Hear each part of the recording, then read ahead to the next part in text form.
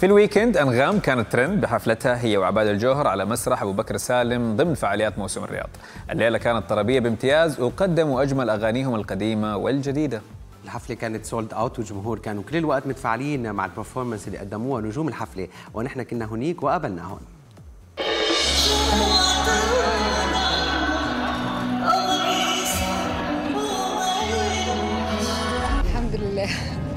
حفلة كانت حلوة قوي. والرياض الغالية الحبيبة وجمهورها الحبيب الغالي على قلبي جدا. بقيت بستمتع جدا وبقيتوا توحشوني بقت بتوحشني رياض ما بق- بقيتش أقدر أغيب كتير. والشعور كان متبادل فالجمهور تفاعل مع أنغام بشكل كبير مع كل أغنية قدمتها. جمهور كريم ولطيف وبيدي الفنان طاقة حلوة وهو واقف على المسرح. ونوعت بأعمال غنائية وقدمت سيدي وصالك مستحيل ألف آسف وغيرها كتير. لا ترجع تاخذ جمهورها للأجواء الرومانسية مع أغنية حالة خاصة جدا.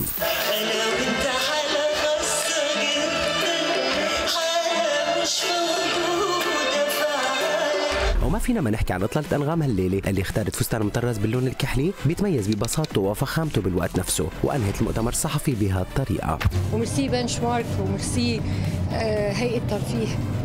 ميرسي لمعالي المستشار تركي آل الشيخ ربنا يديله الصحة. ودايما نتخيل.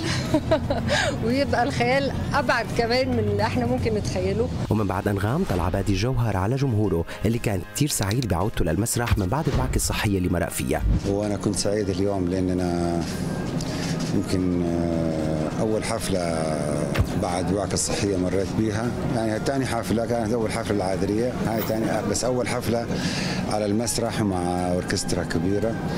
وكنت مشتاق للجمهور وكنت مشتاق للمسرح. وكانت حفلة أتمنى انها تكون كانت جميلة يعني.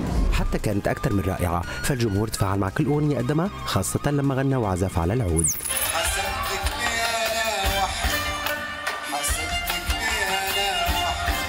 بس وجودهم أسعدني كثير. هذا الجمهور الراقي دائما اللي آه، يشرفني وجوده دائما. آه، دائما هو الداعم الأساسي للفنان والداعم الأساسي لي. عمره ما خذلني زي ما أنا أتمنى اني اكون عمري ما خذلته.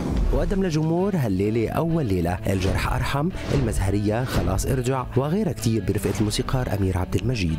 كل مرة بتبقى حالة مختلفة بس النهاردة عبادي فوق العادة ما شاء الله عليه. ارجع خلاص خلاص وخلال المؤتمر الصحفي وجه عبادي جوهر الشكر لهيئة الترفيه على تكريم الفنانين بالرياض عن مجالات مختلفة. اولا تكريم ال- النجوم والرواد والفنانين الكبار آه، ما هي غريبة على هيئة الترفيه وعلى راسها معالي المستشار تركي الشيخ. آه، في الموسم اللي فات تكرموا كثير من الفنانين وكنت أنا من ضمنهم أيضا. السنة ت- أيضا كرموا كثير من الفنانين ويستاهلوا التكريم وهذا يدي حافز كبير للفنان لتقديم الأفضل. آه، في مستقبل حياته الفنية. وحكى عن ألبومه القادم وكشف عن هالتعاون في عمل يجمعني جديد مع الأمير عبد الرحمن بن مساعد.